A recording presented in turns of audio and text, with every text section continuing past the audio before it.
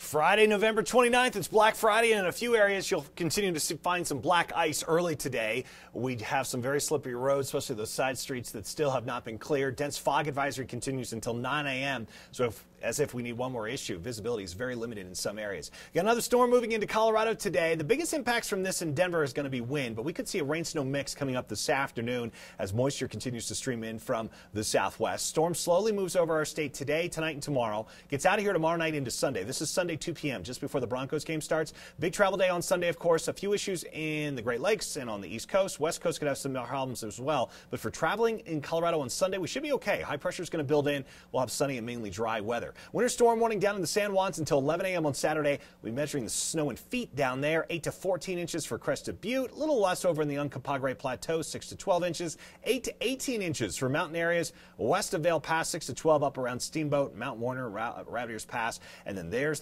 wind. 8 p.m. today through 6 p.m. tomorrow. Wind gusts to 80 miles per hour from the Hogback up into the mountains of Summit County up toward Winter Park. Not as much wind on the northeast plains, but still very, very windy. Again, storm gets out of here late tomorrow. A little cool on Sunday, 42, and then warmer early next week. Kickoff for Broncos, 42 coming up. Uh, mile high on Sunday afternoon. Of course, that game on CBS 4. Have a great Friday.